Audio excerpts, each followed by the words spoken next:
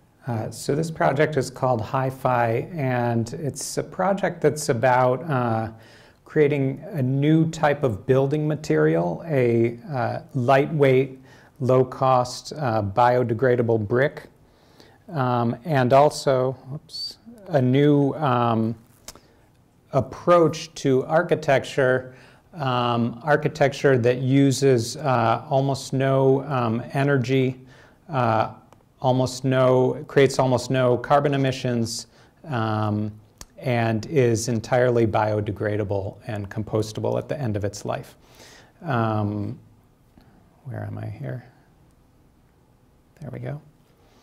Um, so that's one of the most uh, recent projects that we did. Um, but I want to now um, describe some of the um, research method and design method um, that kind of brought us to this point of uh, developing uh, one of our most recent projects. So the kind of baseline or point zero out of our six points, uh, the baseline to all of our work is prototyping.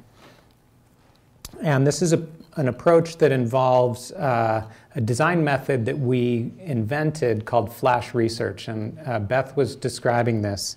Um, this is um, a way of doing architecture that we came up with uh, that involves self imposed constraints. So, uh, a budget of $1,000 or less, a duration of a month or less, um, but that nevertheless aims to explore a new architectural idea through full scale functioning prototypes.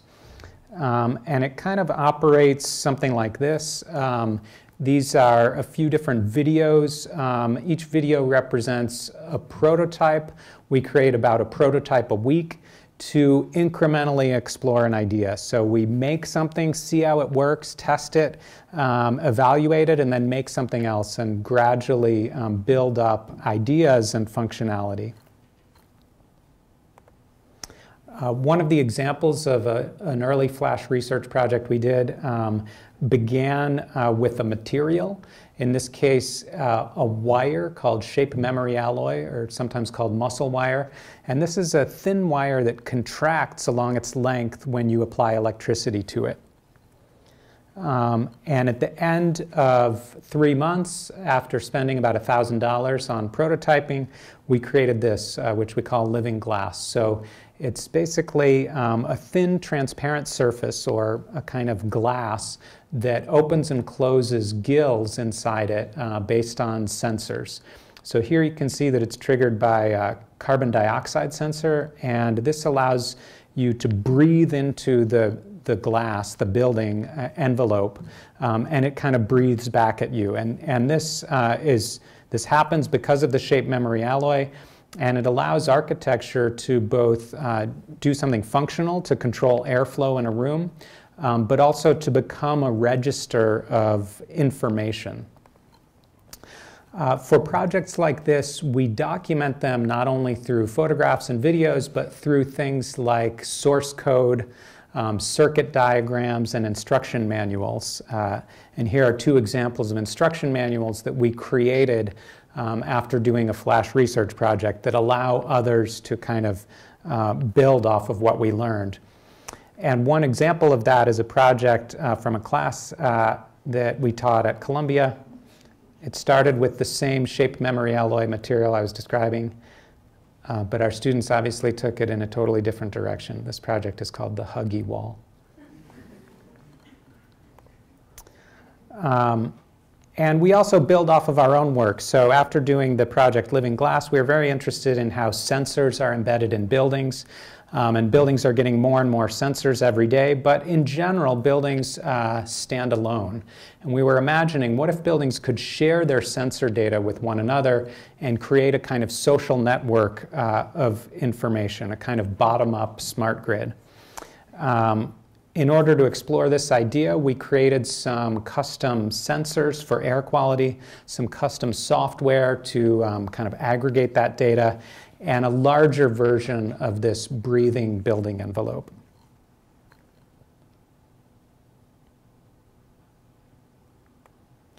And more specifically, uh, we were very interested in taking some low cost sensors, sensors for uh, uh, carbon monoxide and nitrogen dioxide. These are two important contaminants of our air quality. Uh, we connected them to a simple radio unit um, and a low cost battery, and then we had uh, what were basically portable sensor units. So these didn't need to be plugged in anywhere. We could install them on the facades of buildings, on the exterior, um, but also inside buildings. And they could be gathering information, uh, collecting it, and sharing it with other nodes in the network.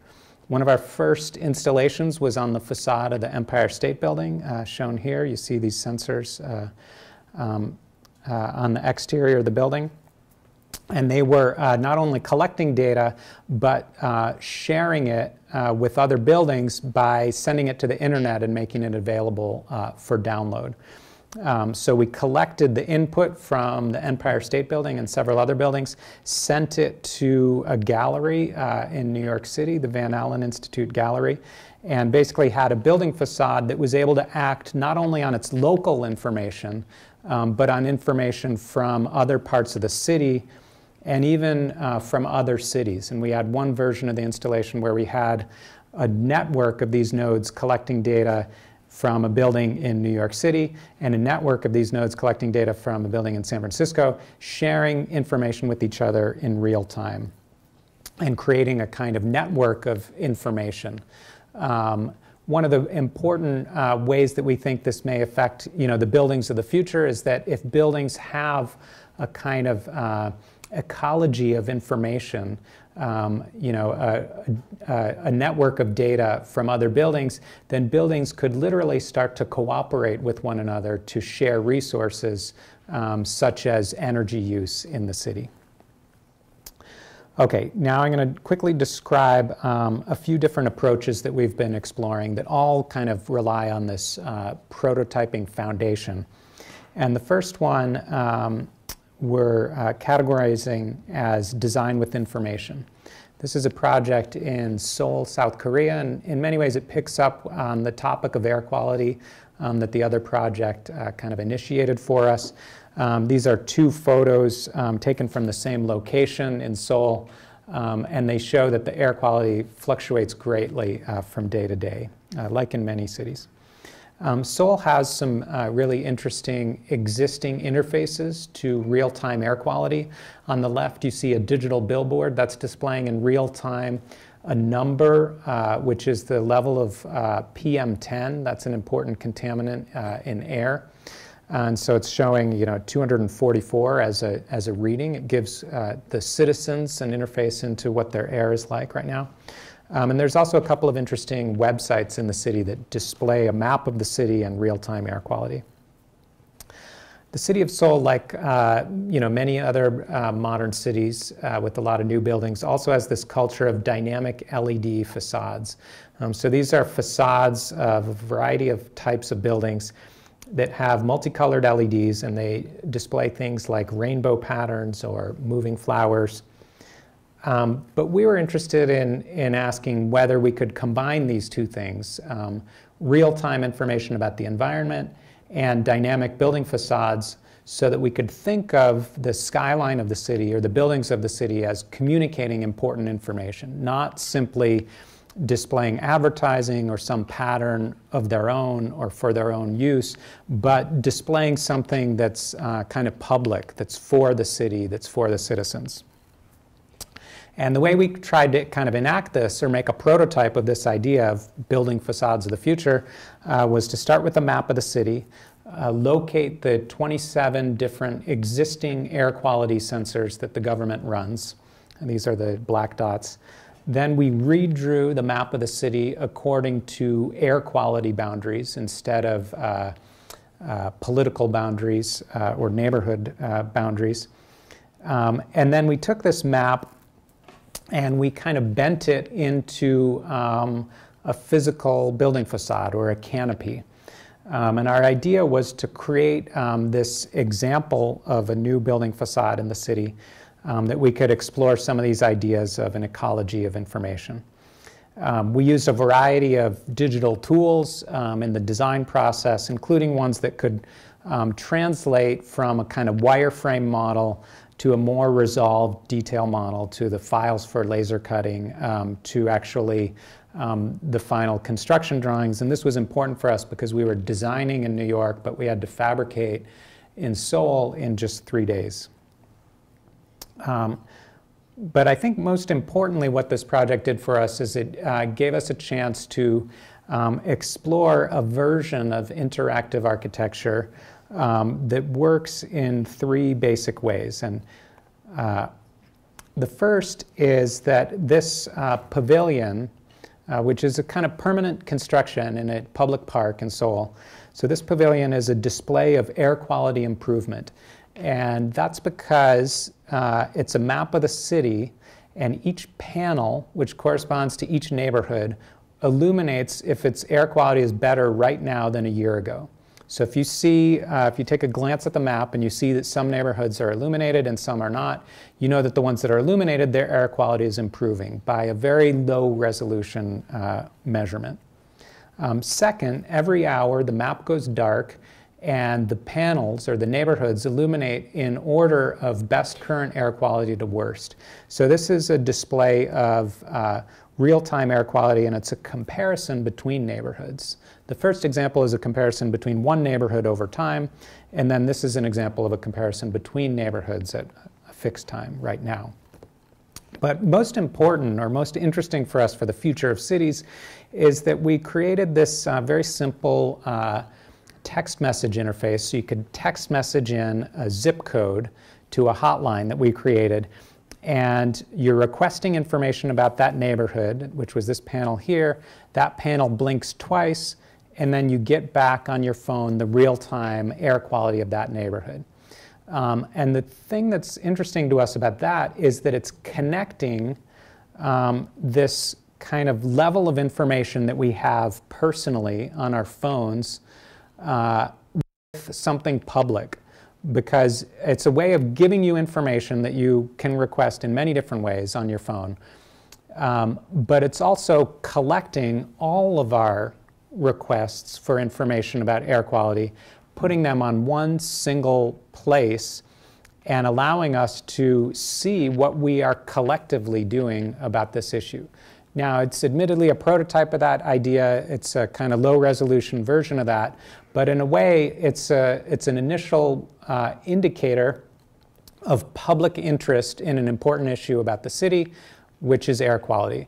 In other words, if you glance at the map and you see a lot of blinking, you know a lot of people in the neighborhood are interested in air quality right now.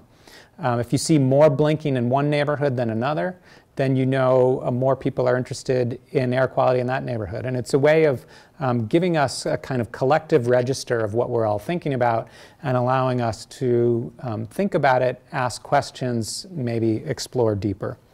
Um, so this is still standing. We built this uh, several years ago now. Um, and it's a, it's a kind of interesting part of the public life of this part of the city. Different people use it um, kind of in different ways. Um, it has this kind of physical aspect of um, being a kind of constructed object in the city, um, but it's also this layer of information. And in other words, it's making visible some things that are normally invisible um, about the environment. Two, design with environment. So um, at about the same time we were working on this project with air quality in Seoul, we were also working on a project with water quality in New York City. And this project, which was a prototype a few years ago, has grown into um, what we're showing here in this rendering, uh, which is scheduled for construction this summer. And this is basically a 200 foot long floating pier in the East River uh, in Manhattan um, that is basically a layer of light uh, hovering above the surface of the water that changes color and blinks according to water quality, presence of fish, and again, human interest in the environment.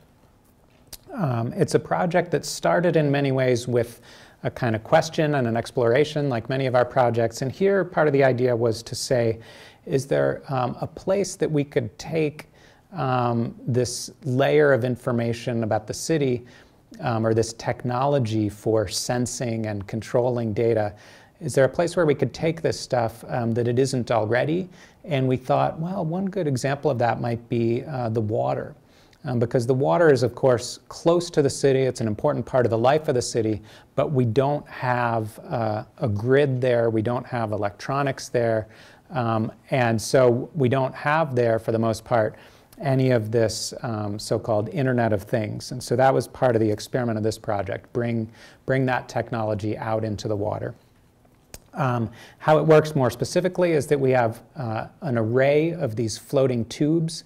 These are six foot long transparent tubes, half underwater, half above water, with sensors below water and lights above water.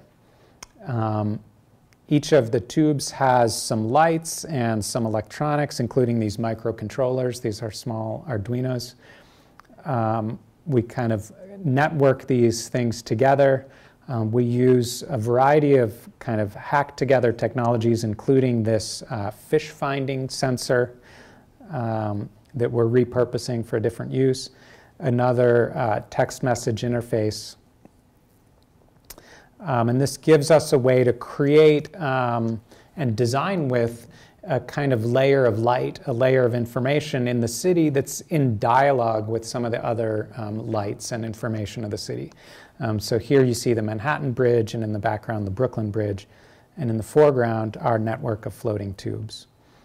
Um, in the context of New York's uh, kind of urban uh, uh, skyline, but also its kind of industrial skyline. Um, and maybe one of the important ways uh, for us to uh, think about this project, especially as we imagine it um, going forward or having a, a, greater relevance than a test installation, is that um, there's kind of a dialogue here between the colored lights in the city. So in the background, this is uh, the famous building that everyone knows, the Empire State Building. It, um, it basically has dynamic lights um, and it's communicating information to the city. Um, but the Empire State Building, uh, basically, it changes uh, colors generally about once a day, and it communicates things like holidays or Mariah Carey concerts. Um, and our network of very similar technology in a way um, is changing more than once a second and displaying things um, like presence of, of fish or you know, life in the water um, and the quality of the water um, and our kind of interest, our collective interest in this issue.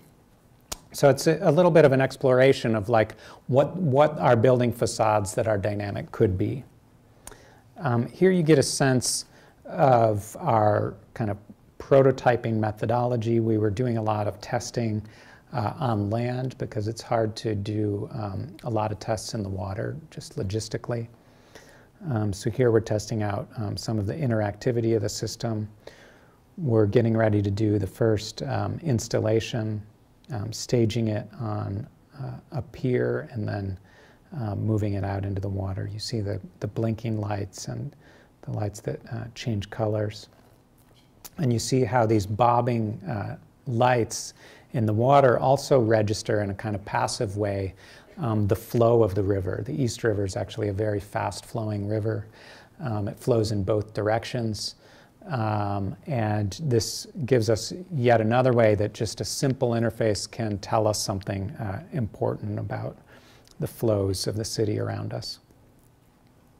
Here's a, a, kind of time lapse in near real time where you see a, a, kind of tipping point moment. The lights shift from a reddish color to a bluish color, and that's because the water quality has hit a tipping point of improvement. Um, so this started out actually as a flash research project where we built a single floating module. Um, then we developed it into a, a grant proposal and partnered with an incredible artist named Natalie Jeremijenko. Uh, we, we won a, a, competition for funding to um, put a small network of these lights out in the river um, uh, a few years ago.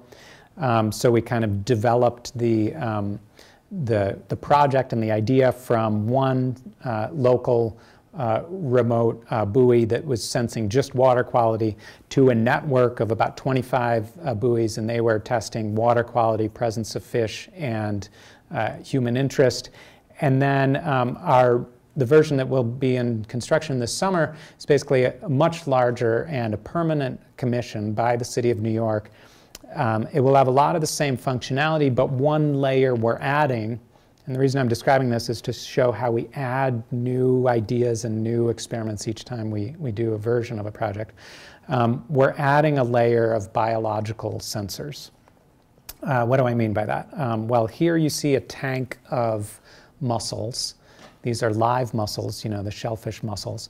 And it's a sped up uh, time lapse, but you basically see this kind of pulsing or jittering of the mussels, and that's because they're opening and closing their shells small amounts. Uh, well, it turns out that the rate and the amount that a mussel opens and closes its shell is a very sensitive and sophisticated detector of water quality. In fact, a better detector of water quality than our most uh, expensive digital sensors. So, um, with that in mind, and we learned this from some scientific research papers, um, with that in mind, you can glue a $2 Hall effect sensor to one side of a mussel's shell and an inexpensive magnet to the other side. And at a high resolution, you can monitor when a mussel is opening and closing its shell and how much. And this allows us to use living mussels as a detector of water quality. Um, here was one of our first uh, test installations. This is uh, what's called a mussel sock. Um, this is how mussels are grown in, in many parts of the world, including in Venice, Italy, which is where we did this first version. And here you see we've taken a mussel sock of native Venice mussels, um, attached uh, several different sensors uh, to mussels along the length of the sock.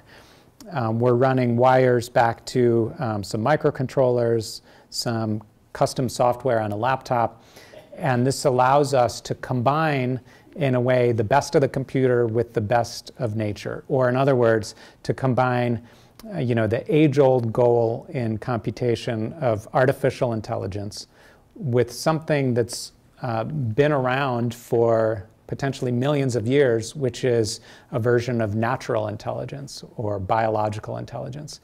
Um, to put it differently, this allows us to use computation as a design tool, but also use biology as a design tool, and even combine them within the same project and the same interface. Um, here you get a sense of some of the underlying technologies and some of the initial test installations in a canal in uh, Venice and a different canal.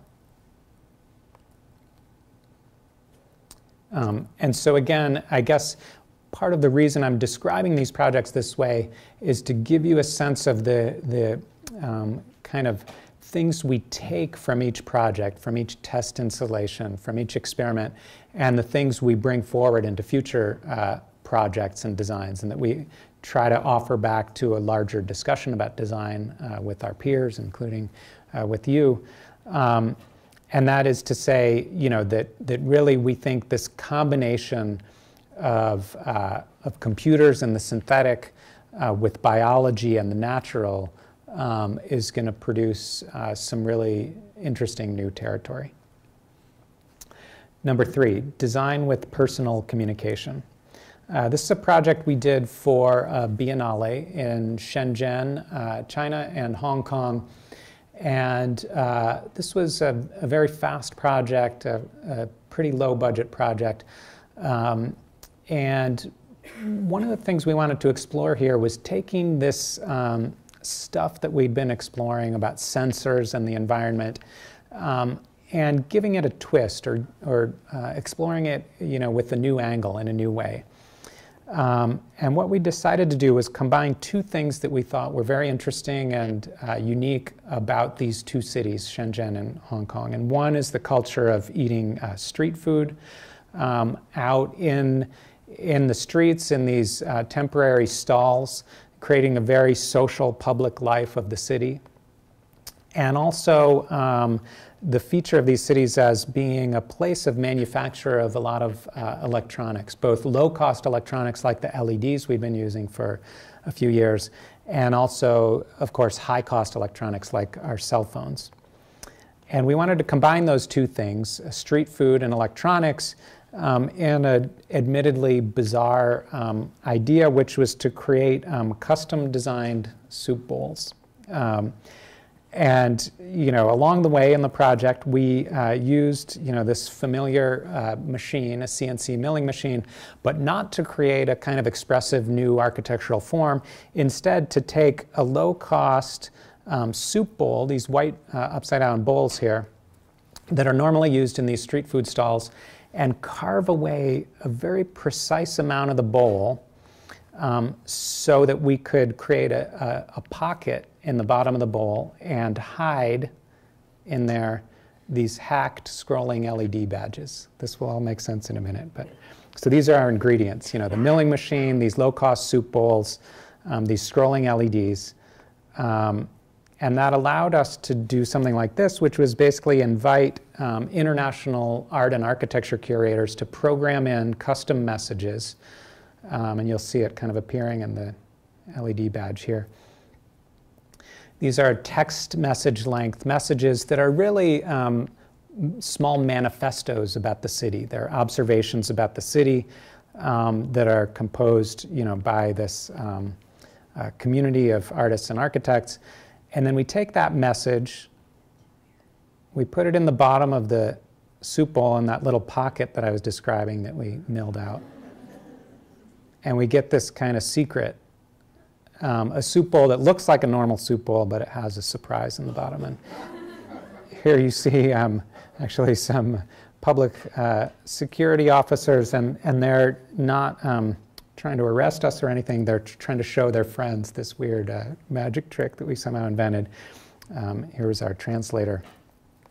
Um, we developed partnerships with several of these uh, street food vendors uh, who have these stalls. Um, and here's one of our bowls in action. Uh, you go up to these stalls, you order different vegetables or tofu or meat. And, um, and uh, they're often created in this uh, you know, broth that's semi-transparent. And here the material of the food, the properties of the food, material properties of the food was an important part of the design because it allowed us to create um, a bowl that uh, when you first receive it with your food, uh, it looks like a normal bowl, but by the time you get to the bottom, uh, something else is going on.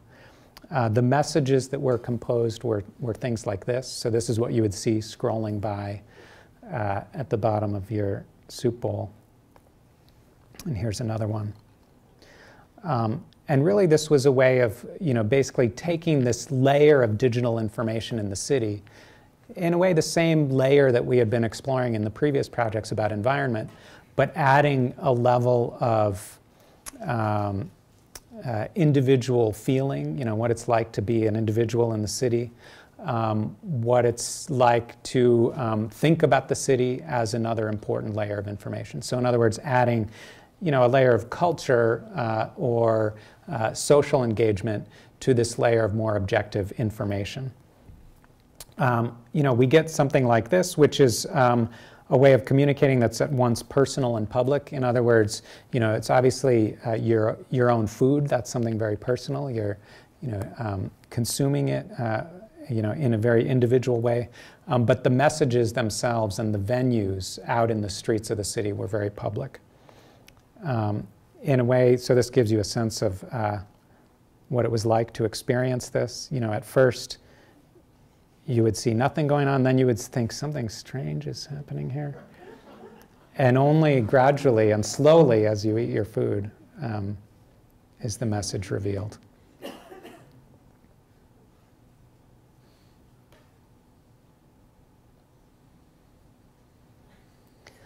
You know, so one other thing that we liked about this was that we were bringing the venue of the Biennale out into the streets. You know, the, these events that are normally held in kind of civic centers or galleries for a, a fairly narrow audience, we were bringing that out uh, into the streets, to the citizens, uh, to the public life of the city.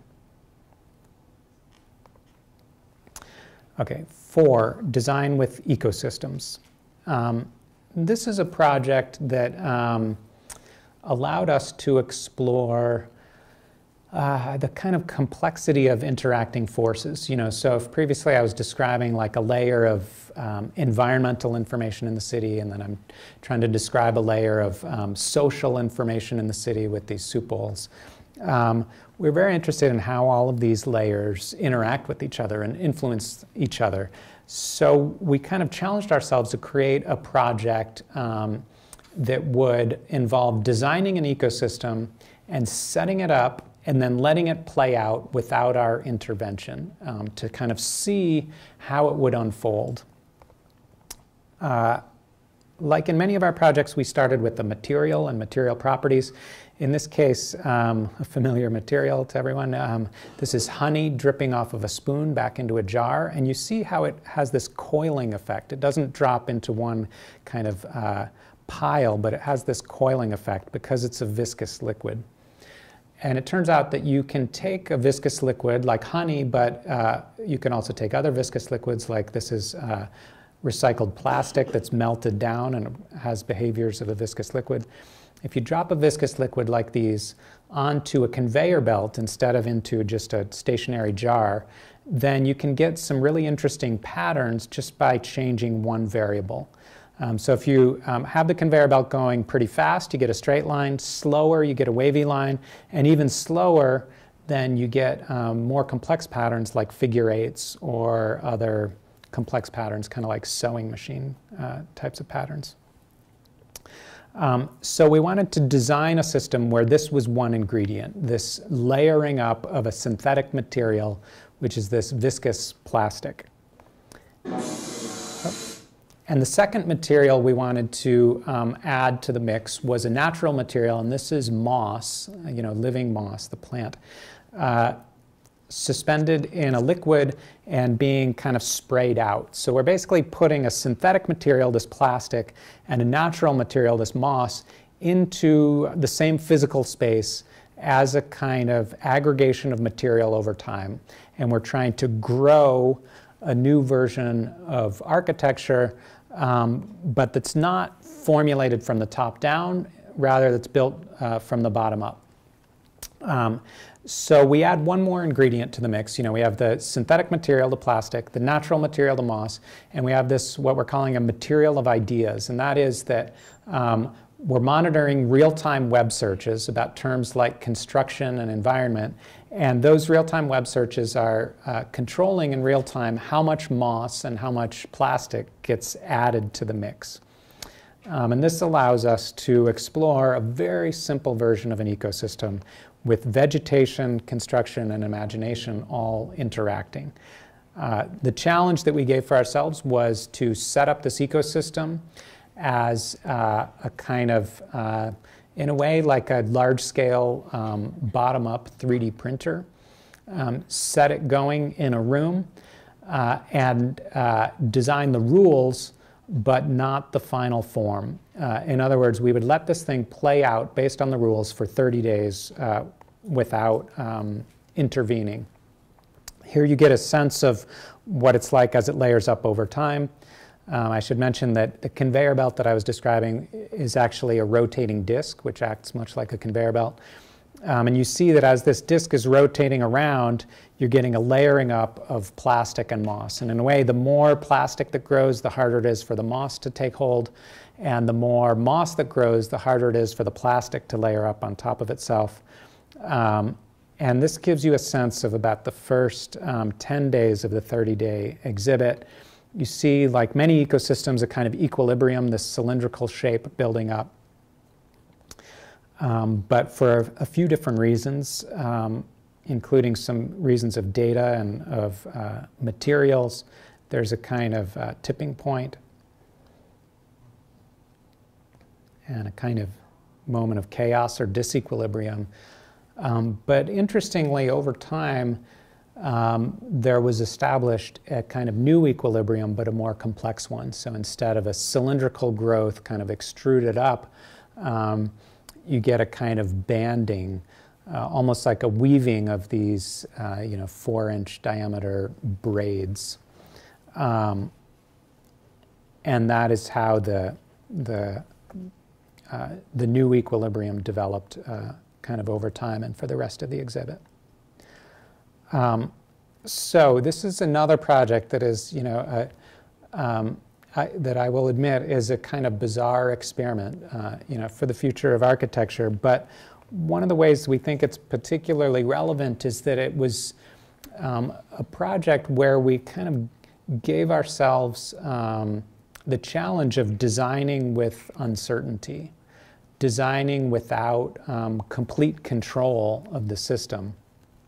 Um, designing with forces that we knew were kind of beyond our ability to completely um, understand and that would shift in ways that we wouldn't be able to predict. Um, because remember, this was being driven by real time searches, web searches, and those could have gone uh, in different ways.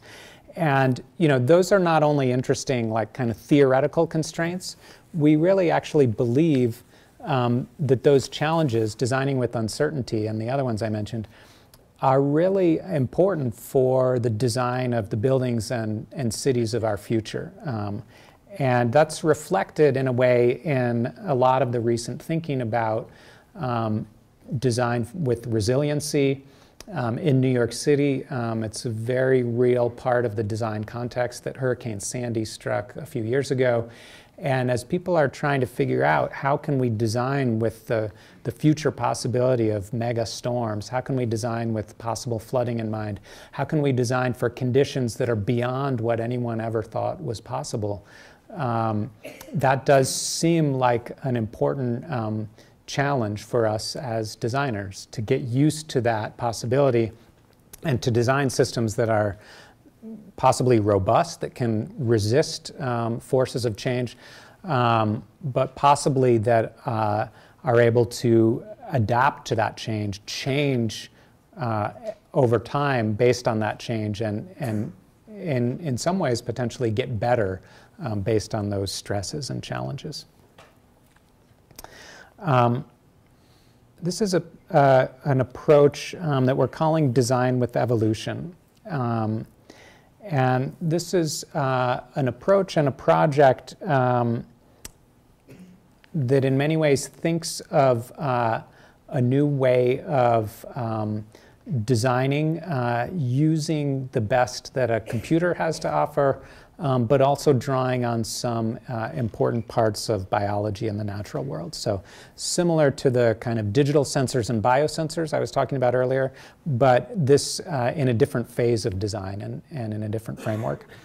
Um, and I'll just describe this one fairly briefly, but um, part of the premise of this project is that uh, biology of today um, is very different than biology of 100 years ago.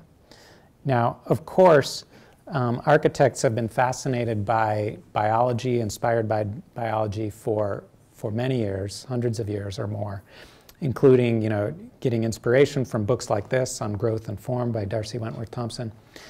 Um, but biology of today is different than biology of 100 years ago for a number of reasons. Um, it's now possible to do a lot of things uh, that it wasn't possible to do 100 years ago, and that changes our understanding of biology and also how we can use biology as a design tool. Here you're seeing how um, you can grow these days uh, individual cells in small glass plates rather than cells uh, in an organism, and you can subject them to a bunch of different environmental conditions uh, through feeding them liquids and measure their response. You can create images, uh, moving images or still images at high resolution, uh, like you saw there. You can create um, ways of monitoring living organisms and the way they grow. This is slime mold growing to reach uh, dots, which are points of resources or sugar. Um, and it forms an efficient and robust uh, and redundant network that's actually useful for designing things at a completely different scale, like railway networks and highway networks. Um, much of this work is uh, done by some people we're collaborating with, including Ali Brivanlou, who uh, is a molecular embryologist at Rockefeller University. He studied tadpoles for many years. That was a kind of typical growth of tadpoles. But he's invented a way to take a living tadpole, you can see its heart beating there, and uh, monitor the firing of its neurons or its uh, brain signals in real time through quantum dots. Um, this is uh, some other work from Ali Brivanlou's lab. This is basically showing um, how stem cells communicate with one another through sending uh, small chemical signals and determine whether to grow into skin or bone uh, or muscles. Um, and finally, this is another collaborator we're working with who studies the way bacteria grow into colonies. Um, these are colonies about the shape of a quarter. Um, and uh, they create these very complex topological shapes. And we're using some techniques of computation, some relatively new techniques like computer vision and machine learning, to try to um, take this very complex growth of a biological system and uh, learn from it and encapsulate it in a computer model. So we're trying to gather data from the growth and figure out a way um, to uh, to put that type of growth in a computer model. So all of these things, I would argue, are very different than the biology um, from D'Arcy Wentworth Thompson. Um, and I'm now going to show you one very quick version of how we're um, trying to design with that in mind. Um, so here's yet another biologist we're collaborating with. This is a plant biologist named Fernán Federici. And he has this incredible, very expensive microscope that allows you to take um, photographs at high resolution at one micron depth uh, slices. So these are tiny, tiny slices of tiny, tiny objects, cells. And here we're studying the exoskeletons of xylem cells. Xylem cells are the cells that grow in the stems of plants. Um, and we're able to take those exoskeletons, um, put their uh, 3D geometry into the computer, um, and then do things like this capture um, a data set of things like the length of each bar, the, the angle of each bar, and use uh, another piece of software which allows you to feed in any Excel spreadsheet, any data set, um, and uh, develop an equation um, that describes that data. Um, and so I know that's a lot of information, but the point is that that allows us to uh, recreate a xylem cell that existed in the natural world by creating a straight blue center line and then generate something very similar to what existed in the real world. But also to predict with pretty good accuracy how a xylem cell might grow if it was growing in an L shape, which a xylem cell never has to do in nature. But if we can understand how it grows, if we can put that model into the computer, then we can apply that logic this biological algorithm, we can apply it to scenarios um, that are unique um, and that are invented by us. So we can use the xylem cell as a design tool.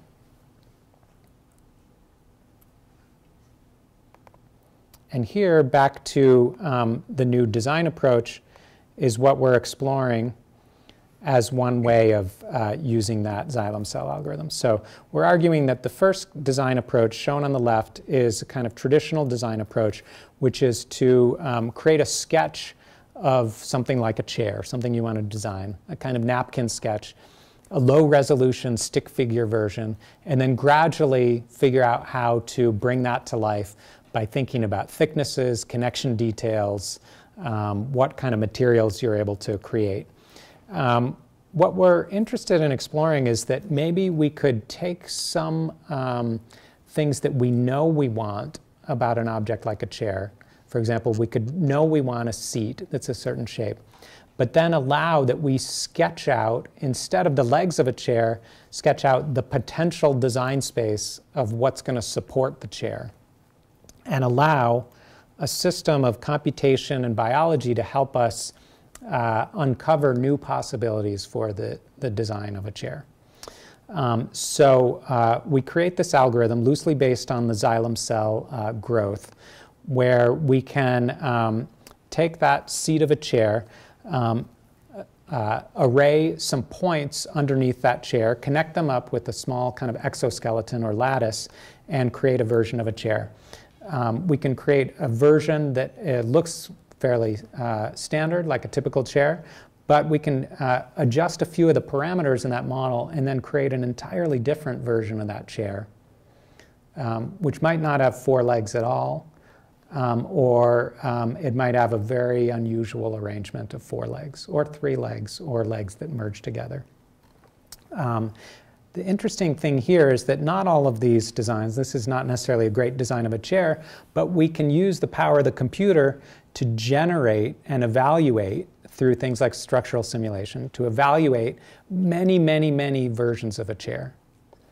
Um, and the cost of doing that is nothing because once you have the computer model, you can let the computer do what it does best, which is dumb, repeated calculations over and over again, generate something like 5,000 or 10,000 or hundreds of thousands of design options, which are each symbolized by a point here, um, sort them according to their type of design. That's what the color means here.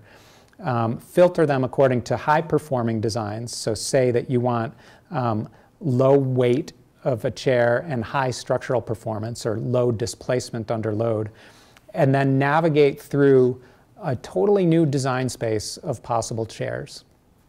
Um, this gives us the ability to think about design in new ways. We can specify things we know. We can kind of ask questions about things we don't know.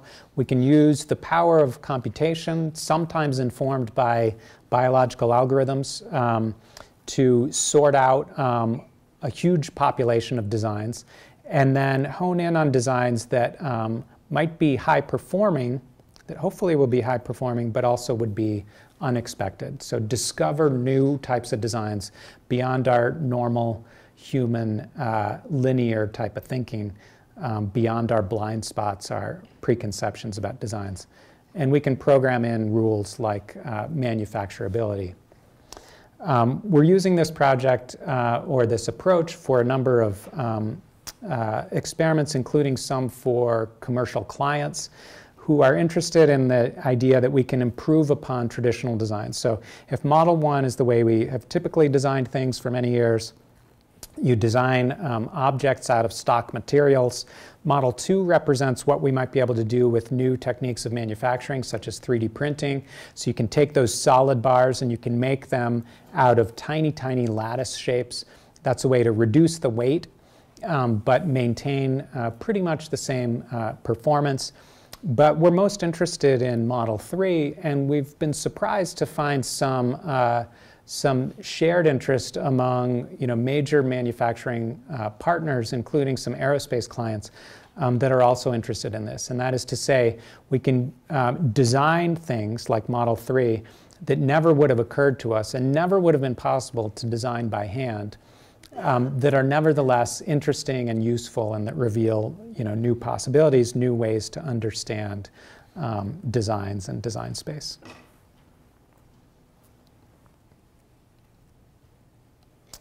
Um, okay, and so finally, um, to come full circle, um, this is uh, in a way a project about design um, and waste and energy, and hopefully a, an approach to design that um, uses, uh, that generates less waste and uses less energy than traditional approaches. Um, it's a project um, that, uh, in a way, starts with, with this loop of an ecosystem. Uh, this is the uh, carbon cycle, you know, the, the normal, natural, uh, healthy cycle on the Earth uh, endless loop of growth and decay and then uh, regrowth and renewal. Um, and of course, we know that um, our buildings and our cities um, are not great for this cycle. In other words, they tend to take high value raw materials, spend a huge amount of energy converting those raw materials into building blocks, um, create something useful for humans, like a building, and then at the end of the useful life of that building, um, put all of that material into landfills where they last for hundreds or thousands of years. And really, the guiding idea of the project was to imagine and test out uh, whether we could um, take a different approach to relating to the carbon cycle. In other words, maybe we could take low value raw materials instead of high value raw materials. Maybe we could spend almost no energy converting the raw materials into building blocks. Maybe we could build a useful building in the same way that we normally do, um, but then at the end of the useful life of the building, we could return all of that material back to the carbon cycle um, and not have it end up in landfills.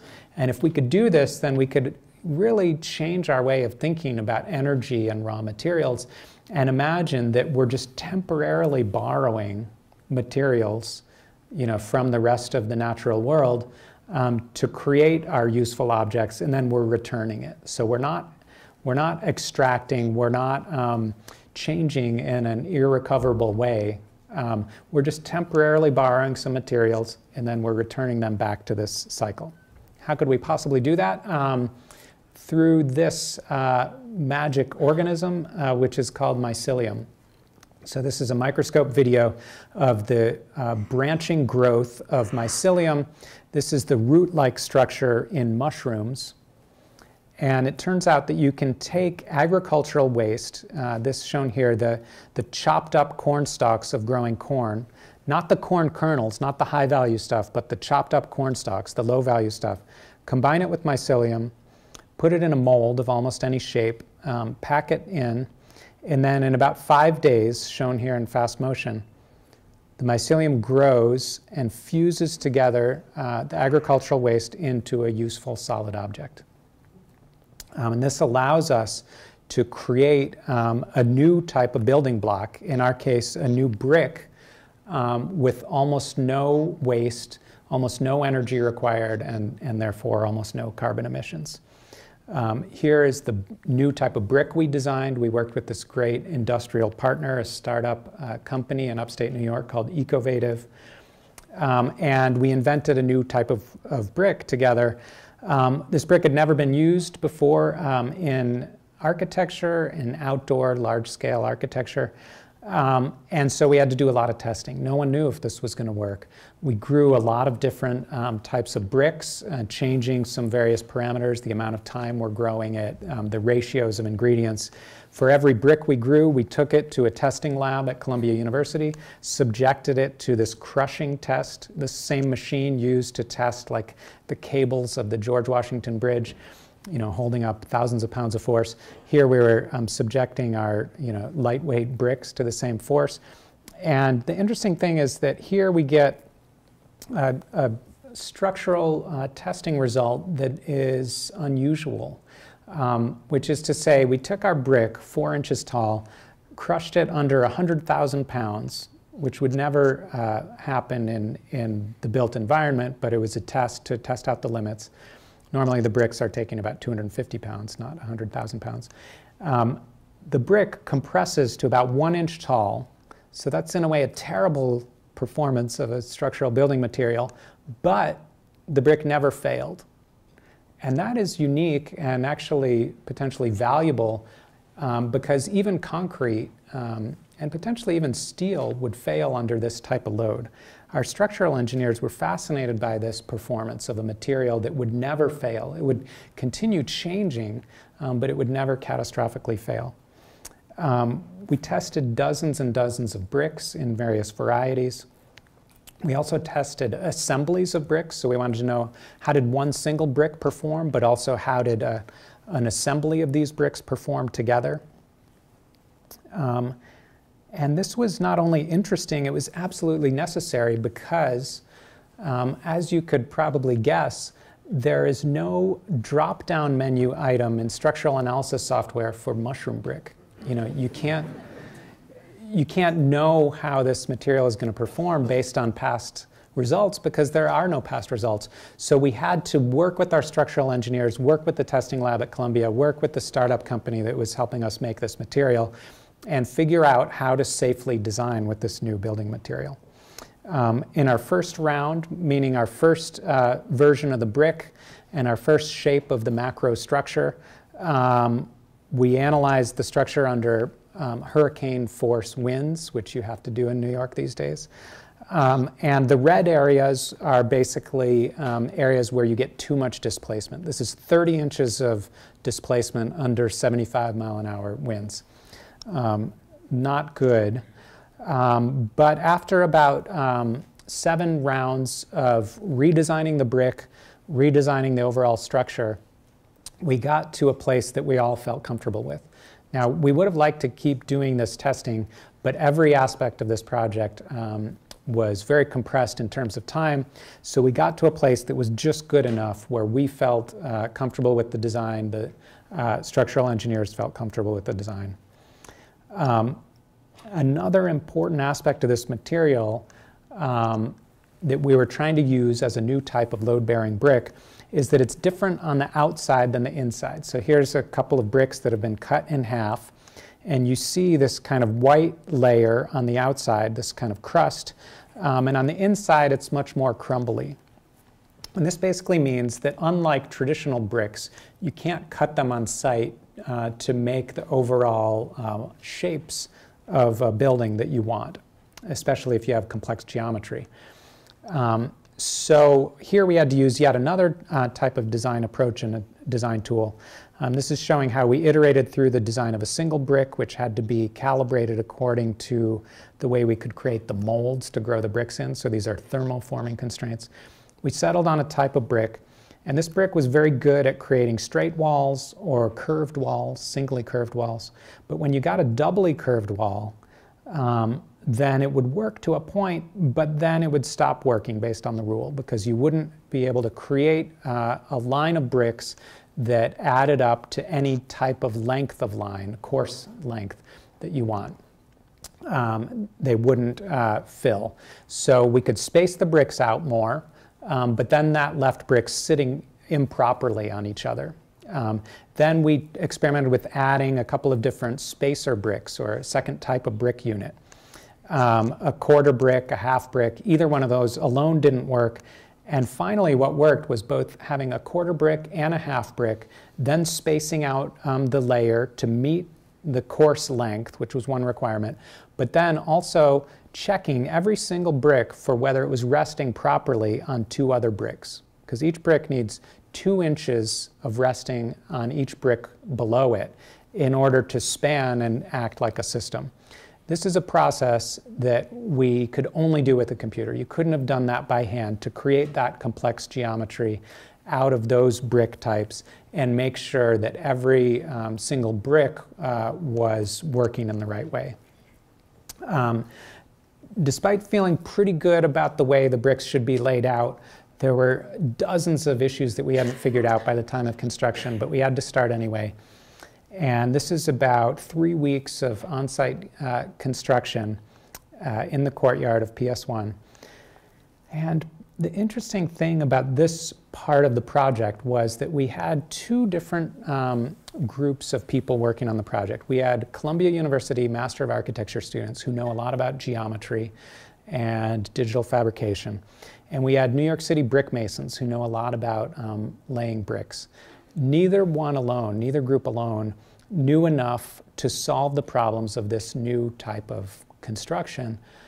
Uh, only together could they figure out how to lay these new type of bricks in this complex overall macro form, um, have everything line up, have all the bricks sit properly, uh, and have the shape turn out the way we wanted, and have every brick be properly connected to the other bricks. So it was very interesting, you know, and speaking of our ecosystem of design, where we had here an ecosystem of expertise, an ecosystem of labor um, that we were working with on the fly um, to, to build this thing and, uh, and learn as we were going. I should note here, while I'm talking about labor, that we paid every single worker uh, who helped us on this project, unlike some of the past uh, versions of this PS1 installation. Um, and that was important for us too, to, to kind of engage a kind of a healthy and sustainable way of making things uh, required that we do that. Um, here you see uh, a photo of the finished uh, project, um, about 40 feet tall, 10,000 bricks, and you can see it in the context of the city. Um, so in the background you see the glass and steel skyscrapers of Manhattan. In the foreground you see some of the traditional brick buildings uh, of Queens. And in many ways, our project was in kind of dialogue with those types of construction. Um, it was also designed to frame the natural environment. And on the top, you see these uh, reflective bricks. And these are basically taking the growing trays um, that we made the bricks in. You know, you need to grow them in a tray, like you saw in the video. Um, and we're taking the growing trays and putting them on the top of the structure. Um, so we're reusing the manufacturing tools Um, but also, we're getting an interesting visual effect out of that because these growing trays are reflective plastic and they bounce light down into the structure. They're placed in the locations that capture the most sunlight on the interior face and therefore put light down uh, into the structure. Um, here you can see um, some of the small apertures or windows um, in the in the building, and basically these are places where we had a quarter brick in the computer layout that we determined wasn't exactly necessary to hold up the structure. Um, so you could punch it out and still have proper bearing. And we did that for kind of visual effect.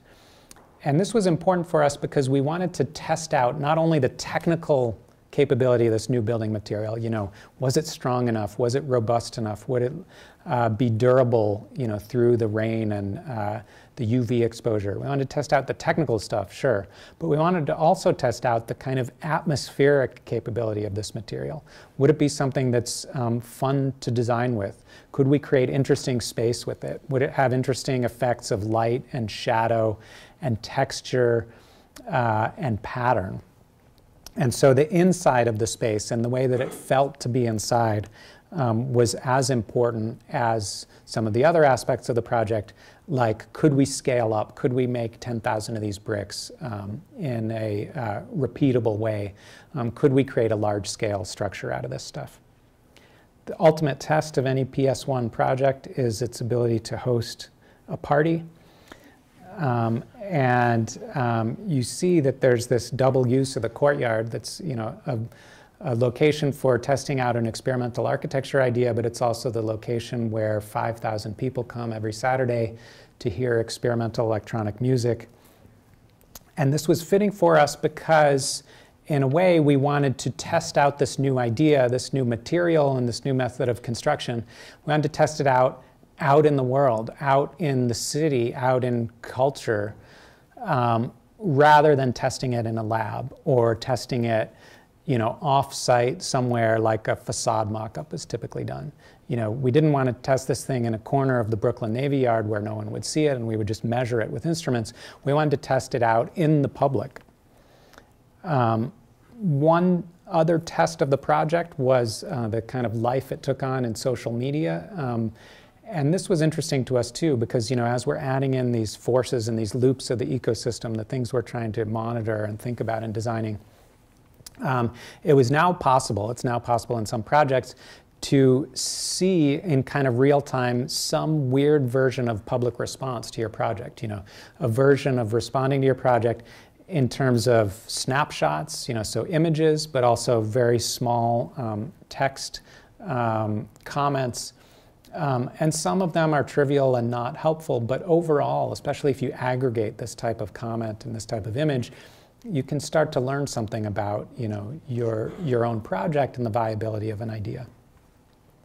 We had the opportunity to create um, a parallel installation in the lobby of the Museum of Modern Art and uh, at the same time. And here we wanted to um, test out some other things about the material and the construction um, so we were testing out some different forms, some different um, uh, colors and textures of the material uh, using natural compostable dyes. And this was basically a way to, um, to uh, communicate to ourselves and to a, a, bigger audience that this project was not about you know, a single installation as object. It was about a, a new system that could have you know, multiple ways to play out. Um, you know, if there's maybe one thing to say about the project um, to summarize what it's about, it may be this that it was a, a, a, design approach and a project and a building, a temporary building, that was designed to disappear as much as it was designed to appear. So if you think about most buildings, they're really designed to appear. They're designed for the day that they're finished. They're designed for people to um, comment on and live in them, you know, when they're there, and especially on the day that they open and the photographs are taken. Um, and our project was really, in a way, almost the reverse of that. It was designed uh, for its capacity to disappear, for its ability to decompose after it was done. um, in, in um, a meaningful way.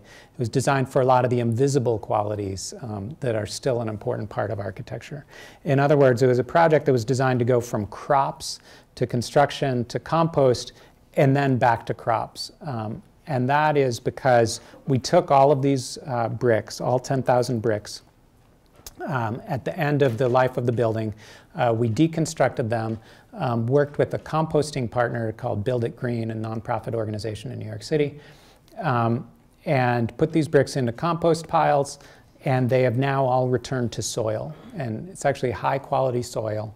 Um, and we've given that back to um, community gardens in the neighborhood in Queens and local uh, city tree planting um, to start the cycle again.